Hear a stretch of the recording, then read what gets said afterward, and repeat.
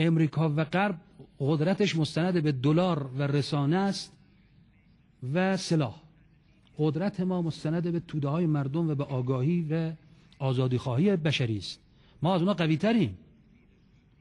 ما از اونا قوی تریم. این قدرت رو داریم. منتها جرأت استفاده از این قدرت رو نداریم.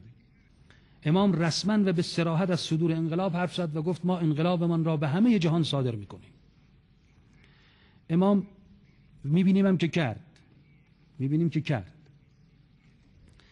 امام ایده تشکیل امت واحده اسلامی و اتحاد جماهیر اسلامی رو ترک کرد.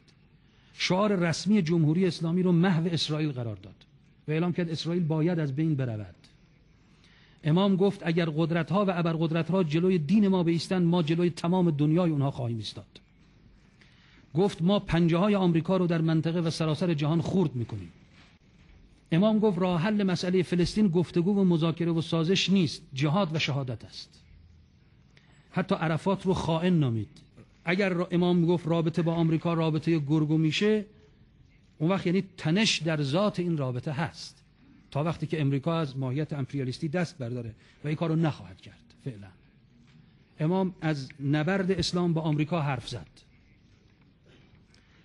نه از سازش اسلام با آمریکا.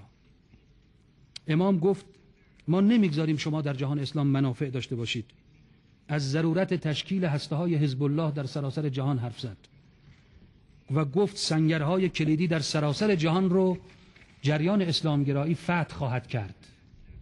و از این جمله ها سریحتر امام داره. مگه امریکا خودش رسما نمیگه دوره جدید جنگ سرد و جنگ گرم بعد از سقوط کمونیسم امروز علیه اسلامه؟ قبلا تو دنیا به اسم مبارزه با کمونیسم امروز به اسم مبارزه با تروریسم دارن قطبندی می‌کنن و کردن. و بالاخره ما چرا مسئولیت رهبری جهان اسلام رو نمیپذیریم؟ در حالی که این رهبری عملا صورت گرفته. چرا آمریکا رسما میگه رهبر جهانه و میگه رهبر غربه و از جنگ جهانی دوم به این طرف حدود 60 که این نقش رو برای خودش تعریف کرده و بعد از سقوط شوروی این موقعیت رو تثبیت کرده و امروز حاکمیت مطلقش با جنبش بیداری اسلامی از مالزی و فیلیپین تا بالکان در قلب اروپا از آسیای میانه تا شمال آفریقا داره تهدید میشه و اقلیت مسلمان در اروپا و آمریکا قوی ترین اقلیت شدن و تهدید کننده ترین اقلیت. ما یک بلوک قوی معنوی و سیاسی تو دنیا تشکیل دادیم.